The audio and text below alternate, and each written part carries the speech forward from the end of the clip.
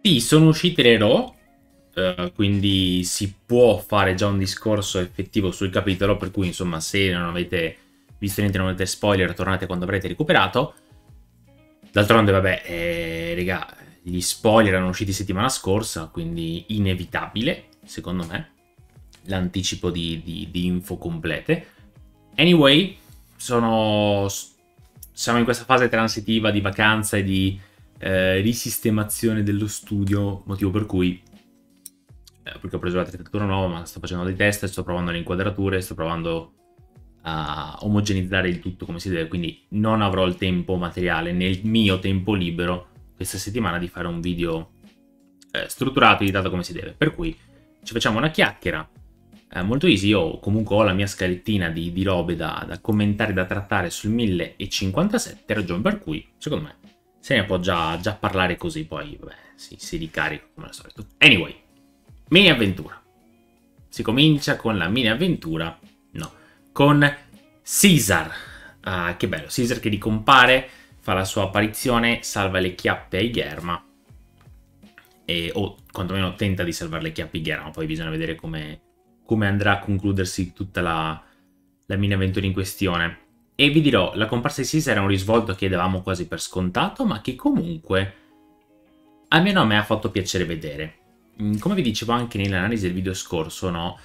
Uh, questa mini avventura di Germa al momento non aveva una modifica dello status quo, quindi in qualche modo la condizione di partenza, cioè loro catturati a Cake Island andava modificata, che poteva anche essere, può, può concludersi con un in realtà vengono comunque ricatturati e rimangono a Cake Island, ma si deve andare a instaurare un qualcosa di diversificato rispetto alla premessa iniziale, che può essere anche, in questo caso, stanno con Caesar diventano amici di Caesar, va a sapere qualcosa, no? Che poi sarebbe anche divertente rivedere un judge fare di nuovo esperimenti e robe con Caesar Clown, sarebbe un mix esplosivissimo. Comunque, come dicevamo, insomma, per non dilungarsi troppo nella mini avventura, eh, affinché la mini avventura avesse un senso di esistere, affinché avesse senso che Oda dedicasse tutte queste tavole alla mini avventura, doveva succedere un qualcosa che andasse a rompere gli equilibri pre mini avventura. In questo caso è per l'appunto l'azione di Caesar che non si sa come andrà a concludersi, ma comunque c'è e già modifica lo status um, di partenza. Il capitolo vero e proprio invece ci fa tornare potentissimamente con la narrazione in stile teatro kabuki. Per quanto poi io la metterò da parte un attimo questa cosa e ci voglio tornare sulla fine del video per fare un discorso un po' più organico, visto che la narrazione è stata per appunto spezzata per renderla più, più teatrale in questo capitolo. Quindi sulla, sulla fine dell'analisi torniamo um, perché c'è una cosa del narratore che secondo me comporta una grossa cosa a livello di futuro della narrazione e, ehm, e proprio in realtà a livello di, di lore stessa, ok? Quindi c'è, c'è una bella botta di lore, come si suol dire, attraverso questa narrazione del teatro kabuki che si va a concludere eh, che lascia aperto in realtà uno spiraglio non indifferente, ma ci torniamo dopo. Uh, emotivamente un capitolo pazzesco, è estremamente coinvolgente secondo me, e, um, era da tanto che non mi emozionavo così tanto con un capitolo in questione, e anzi vi dirò, proprio il trasporto emotivo che mi ha lasciato è potente, mi ha, mi ha divertito nei momenti in cui doveva divertirmi, mi ha emozionato nel senso di proprio uh, feels, magoni, queste cose qua, no? Un po'... appunto, trasporto emotivo. Un importante trasporto emotivo, un gran bel capitolo da quel punto di vista. Quindi se noi uh, vogliamo offrire di manga per farci coinvolgere emotivamente, questo capitolo è perfetto. Da quel punto di vista è assolutamente perfetto. Però quindi molto coinvolgente. Però sono combattuto in realtà nel gradimento finale di questo capitolo per varie cose che accadono e che hanno, in mia modesta opinione, poco senso d'essere. Partiamo da Yamato. Yamato non prenderà il mare, quindi non eh, entrerà adesso quantomeno in ciurma con, eh, con Rufy, al che si crea un, tra virgolette, un inghippo che ha già scosso molto gli animi, ho, ho già visto parecchia roba su Telegram di gente appunto scossa, adirata per la scelta, eh, sia per tutte le premesse narrative date all'interno dell'opera, quindi tutto ciò che dice il personaggio Wano Kuni a Onigashima, più cose esterne come il merchandise che andavano a, per appunto, spoilerare l'ingresso di Yamato in ciurma, anche secondo me c'è da fare un discorso un po', no, di chiusa su questa cosa, perché in realtà, secondo me, il fatto che Yamato non sia entrato adesso non preclude a priori il fatto che entrerà in futuro. Ergo, tutte le premesse date, in questo caso, sono, secondo me, assolutamente coerenti. Uh, vi farò un esempio molto molto molto specifico. C'è stato un... Uh, c'è stato, come dire... Partiamo da... facciamo un discorso un po' più ampio. Allora, era il 2017, ok? Quindi parliamo di 5 anni fa. Nel 2017 la, l'ingresso di Jim Ben Churma sembrava molto, molto lontano per certi aspetti, ma molto vicino per altri, ok? Eravamo a Cake Island. Eravamo a Cake Island con Oda che già ci faceva assaporare no, il sentore di Wano Kuni, perché era del 2017 la dichiarazione che, ah sì sì, ma Wano Kuni inizierà adesso, poi non è proprio iniziato adesso, però è iniziato un po' dopo le, le premesse che Oda aveva detto, avrebbe manifestato e compiuto, ma comunque ci faceva già annusare un pochettino Wano Kuni. Quindi c'era questo sentore di Cake Island si conclude con Jimmy che entra in ciurma. Vi dirò di più. Appunto, siamo a dicembre 2017 e a Kyoto, nel uh, Kurumazaki Shrine, che è un tempietto, un luogo di culto spirituale, eh, dedicato però all'intrattenimento del mondo giapponese, il team di Shonen Jump, che è la rivista in cui One Piece viene per l'appunto pubblicato, era andato, aveva fatto una sorta di offerta, di buon auspicio, di buon augurio a Jimbe, come nuovo ingresso. Questa cosa la fanno e l'hanno fatta a livello editoriale come buon auspicio, buon augurio con tutti i membri della ciurma protagonista. Quindi quando un membro stava per entrare nella ciurma, loro andavano al tempietto, facevano sta roba e facevano. E nel 2017 avevano per l'appunto aggiunto Jimbe. Ok? Jimbe che però non è entrato in ciurma lì, è entrato in ciurma anni dopo. Anni dopo a livello di pubblicazione di capitoli, perché è entrato Wano Kuni, manco a Cake Island, quindi manco nell'arco narrativo in cui hanno fatto questa offerta. Al che, ricordandomi questa cosa avvenuta per Jimbe, secondo me, e qui ribadisco, in mia opinione, eh, non è che se Yamato adesso non è entrato, allora tutte le robe sul merchandise, sulla statua che dovrebbero fargli, eccetera, eccetera, non valgono niente o erano prese in giro, perché sono, essendo un prodotto che viene considerato lungo nel tempo, vengono fatte determinate cose anche in vista futura, esattamente come Jimbe con il tempietto e l'offerta, eccetera, eccetera.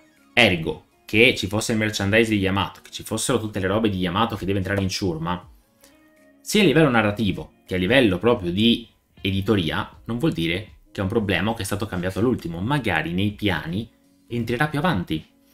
Eh, come vi dicevo nel video sugli spoiler, quindi adesso possiamo espandere il discorso, se vogliamo rifarci, no, cosa che mi avete super chiesto, il discorso del pattern di Yamato, io al tempo del video sul pattern di Yamato, parliamo di un anno fa credo, vi avevo detto una cosa.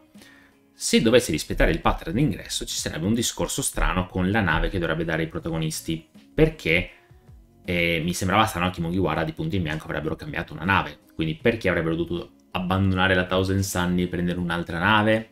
Aveva poco senso per il sogno di Frankie. E infatti mi, ero, mi era rimasta questa incognita che avevo dato anche a voi a fine video, cioè come si risolve sta roba del pattern ad oggi, con le informazioni avute nei discorsi capitoli, considerando che c'è una corazzata sotto Wano Kuni e che Yamato rimane a Wano Kuni fin tanto che la frontiera, quindi no, eh, i confini non verranno aperti e quindi, come sappiamo, all'apertura dei confini verrà risumata l'arma ancestrale, boh, cioè direi che a quel punto Yamato potrebbe tranquillamente entrare in ciurma nel momento in cui andrà a portare la nave a corazzata di Mugiwara completando pure il discorso del pattern, quindi toppissimo. E... Non, non riesco a vedere, quindi narrativamente parlando per me tutto regge in maniera più che perfetta. Siamo in linea con l'ingresso in nuovo mondo dove viene introdotto il personaggio ed entra anni dopo, pensate a Jinbe che promette sarebbe entrato in ciurma a Fishman Island ed entra Wano Kuni. Parliamo di 400 capitoli di distanza. Non pochi, direi. Quindi ecco, Yamato, secondo me, narrativamente parlando, ha tutto il tempo di entrare nel mondo. Dal punto di vista editoriale, l'esempio di Jinbe ci conferma che può esserci un delay tra la roba no, editoriale e l'ingresso effettivo, ragione per cui, secondo me, il problema non sussiste. State tranquilli ehm, che se, cioè, per le motivazioni dette per me è coerentissima questa cosa. Quello che non è coerente invece è la motivazione del non ingresso. Adesso ne parliamo perché Yamato dice che non vuole entrare in ciurma perché vuole esattamente fare come Oden, vuole incarnare no, l'identità di Oden e come Oden vuole andare in giro per Wano Kuni. E qui però sorge, secondo me, il problema, perché Oden non è che voleva fare il turista a Wano Kuni, è che non riusciva a salpare da Wano Kuni, cercava di andarsene e non ce la faceva, e quindi l'unica soluzione che aveva era andare in giro a fare disastri. Eh, Yamato non ha quindi per nulla capito il personaggio di Oden, non ha capito il suo senso di libertà, non ha capito il senso del wonder, dell'avventura che ruota intorno alla figura del personaggio di Oden. E, e volendo riprendere una battuta che, che mi ha fatto Angelo, o c'è Oda che sta promuovendo il turismo in Giappone dicendo che è più bello viaggiare in Giappone che viaggiare all'estero, oppure sta roba ha zero senso anche a livello no, metanarrativo. Chiaro che è una battuta che Oda promuove il turismo in Giappone, quindi a Wano Kuni. Però sta, fa troppo ridere come roba, considerando che hanno aperto adesso i confini, si può tornare dopo il Covid. E la, la, trovo, la trovo poco sensata. Cioè, Yamato vuole essere Oden, ma di Oden non ci ha capito una fava e quindi si comporta a caso. Si può sovranalizzare e dare un senso? Assolutamente sì. Si può sovranalizzare qualunque cosa. Qualsiasi cosa può essere sovranalizzata. In ogni, in ogni contesto, in ogni ambito, soprattutto artistico, figuratevi. Però non lo so, secondo me qui... Boh, c'ha, veramente poco senso. Ribadisco, si può sovranalizzare? Si può dare una giustificazione a qualunque cosa? Sì ma sarebbe per appunto, a mio parere, una sovranalisi molto campata, perché è proprio l'argomentazione di base che non regge, non, non regge, se non questione marketing. Allora però è metanarrativa, non è, non è più eh, opera fine a se stessa. Basta, su Yamato non c'ho altro da dire, credo si sia trattato il trattabile del 1057 su Yamato. Passiamo a Momo perché Momo è il punto forse più interessante, vuoi per la carrellata di flashback, vuoi per il trasporto emotivo della scena, è molto molto molto carino. Um, Momo rimane comunque un bambino, rimane questa, um, questa figura, questa entità che fa tipo un passo avanti, due passi indietro a volte, a volte fa due passi avanti, un passo indietro, quindi c'ha un po' no, eh, questo modo di porsi rispetto alla vita altalenante, molto uh, ondulatorio per certi versi, nel senso che non è, non è sempre coerentissimo con se stesso. Quantomeno io non riesco a percepirlo coerente per se stesso, ma forse è coerente con se stesso per il fatto che è appunto un bambino. Lui è rimasto un bambino per quanto sia cresciuto, per quanto abbia avuto un'evoluzione caratteriale lui si è bruciato 20 anni di vita, ma non è maturato di 20 anni. Sta più o meno progredendo, sta più o meno procedendo. Co- comunque è bello vedere anche no, i personaggi protagonisti che si emozionano alla vista del Momo emozionato. Quindi c'è, ribadisco, questo trasporto ed è, secondo me, un momento di picco del capitolo. Però va detto anche questo, cioè che è un personaggio ancora molto in divenire, può dar fastidio questo suo modo di di essere altalenanti, di dire prima A, poi B, poi C, poi D. Questa cosa un po' può infastidire, può turbare, però è soggettivo, quindi dipende, dipende sempre dal caso, dipende sempre da, da tutti. Questo è quanto. Vero, secondo me, problema del capitolo è la parte teatrale, ma non nell'idea, ma nel concetto che esprime. Parliamo quindi di questa maledizione del sangue di Kurozumi, perché? Perché è molto bello il parallelismo tra uh, Oden che deve essere bollito perché il suo nome no, ricorda il, il, piatto tipico che per l'appunto si ottiene con la bollitura di determinati ingredienti ed è carino il discorso del tu ti chiami carbone perché Kurozumi vuol dire carbone e quindi no, sei, sei fatto per essere bruciato. Però cavolo, è tematicamente diseducativo in una maniera inenarrabile. Eh, nel senso, è giustificabile perché? Perché siamo in un contesto feudale giapponese, quindi Wano Kuni è periodo Edo del Giappone, quindi ci sono i rancori familiari tipici di quel momento storico. Stiamo parlando di una uh, storia in stile teatro kabuki, quindi è molto teatrale, è molto, no, con questa narrazione eh, esasperata. Però, non lo so, cioè One Piece è una storia comunque contemporanea. Una storia contemporanea che ha sempre narrato di determinate tematiche in un determinato modo. Prendiamo Ace e Roger, per esempio, quindi la maledizione del sangue di Roger, cioè quanto si è trattato di, quando si è trattato di sviluppare il personaggio di Ace, quanto si è calcata la mano sul fatto che per quanto fosse figlio di Roger, non era come Roger, che era una persona a sé stante, che aveva i suoi pregi e i suoi difetti, che era smarcato dai vincoli e dalla maledizione dell'essere figlio di Roger. Prendete Sabo, Sabo con lo smarcarsi dall'essere figlio di nobili, che non è perché figlio di nobili che deve essere un pezzo di fango razzista, no? E a proposito di razzismo, gli uomini pesce, cioè non tutti gli uomini pesce sono stronzi con gli esseri umani e viceversa, non tutti gli esseri umani sono stronzi con gli uomini pesce. Quindi, non lo so, il fatto che ci sia la frase in cui viene detto che in quanto Kurozumi tutti i Kurozumi devono bruciare perché sono tutti che hanno il seme del male, eccetera, eccetera, secondo me rema veramente tanto contro il tema dell'opera, non il tema principale dell'opera, che è il senso di libertà. Ma cavolo, voglio dire, ci viene detto quante volte che la famiglia, da, appunto in One Piece, non è quella di sangue, ma è quella che ti crei. Eh, tutti sono figli del mare. Barba Bianca che si fa la sua ciurma, Rufy che ha due fratelli, ma non sono fratelli di sangue, perché la famiglia non è quella di sangue, non è importante di chi sei figlio. E invece no. Eh, Oda ha deciso Wano Kuni che se sei figlio di famiglia X, quindi se tu hai un determinato cognome, meriti l'estinzione. Secondo me è un concetto pericolosissimo da esprimere così. Perché ribadisco, va bene se tu parli di opera feudale, lo contestualizzi in contesto storico in cui cazzo le rivalità tra famiglie erano la norma, quindi ci si picchiava tra famiglie, in Italia, anche storicamente parlando, è una roba molto comune. Infatti il Medioevo è terribile da studiare per tutte le, le lotte eh, tra famiglie, casate, eccetera, eccetera. In Italia, dico, ma non solo in Italia, anche all'estero ovviamente. No, tutta la, la storia de, dell'Inghilterra. Non lo so, secondo me è pericoloso, pericoloso veramente, veramente, veramente molto, molto pericolosa questa cosa da elaborare in questo modo. Mm, sapete cosa? Sapete cosa? È come se Wano eh, fosse uno spin-off realizzato da un, da un altro autore, no?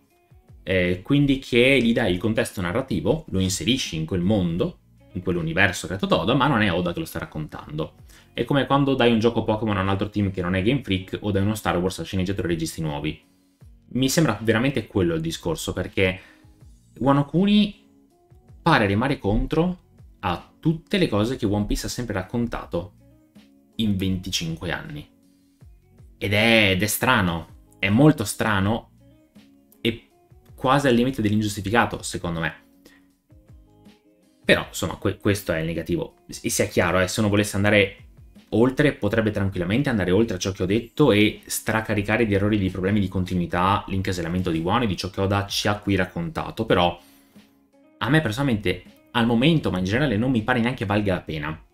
Mm, nel senso che noi, or- noi ormai come lettori dovremmo prendere quello che viene come viene.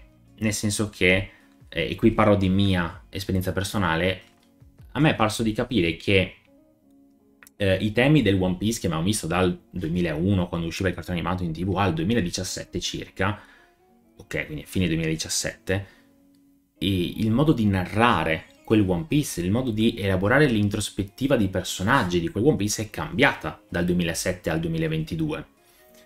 E ehm, One Piece ora, in questi ultimi insomma 5 anni, è un altro tipo di prodotto, ha un altro tipo di pubblico con molta probabilità a questo punto e ha un altro interesse dal punto di vista commerciale.